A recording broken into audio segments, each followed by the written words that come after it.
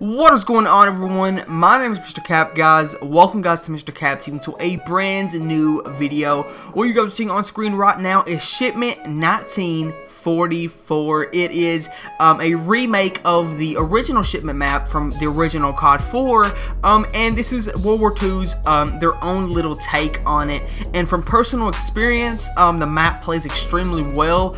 Um, there's other games in the past that the map just didn't work that good on um, but um, you know in World War II it does play extremely well. And on screen you guys can see that gameplay. Um, and I heard some rumors. I don't know if this is actually true. So if you don't own the season pass you don't have access to this map. Um, you know and if you do own the season pass it is available for you.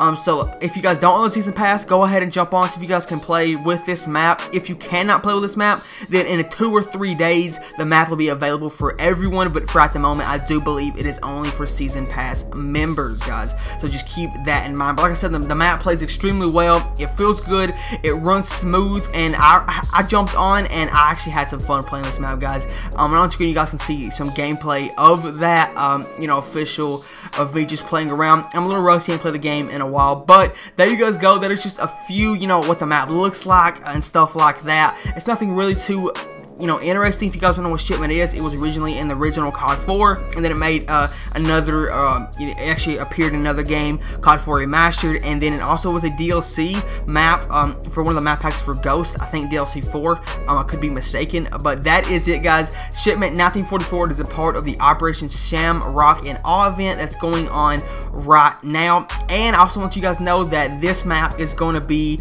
um, uh, it isn't it isn't like a map that's gonna disappear. It's gonna be remained in the game for the rest of the cycle of World War II. It's gonna stay in the game. I thought it was gonna be only for an event and then it was going to go away after a certain amount of time but it has been confirmed that it will be staying in the game full time now which is really really cool. So like I said guys this is just some gameplay of the map. Hope you guys did enjoy the video. If you did give the video a big fat thumbs up. If you guys aren't subscribed already guys what are you guys doing? Go there and subscribe and turn on my channel notifications because some of my videos has been hitting sub boxes which is very unfortunate because I work very hard on these videos. So go there guys and turn on those channel notifications. But you guys have been awesome. Keep staying awesome awesome. Hope you guys did enjoy that. There'll be more videos tomorrow talking about some new camos that actually got put into zombies, and I'll be doing tutorials on them. But hope you guys did enjoy, and I'll see you guys later. Peace out, everybody.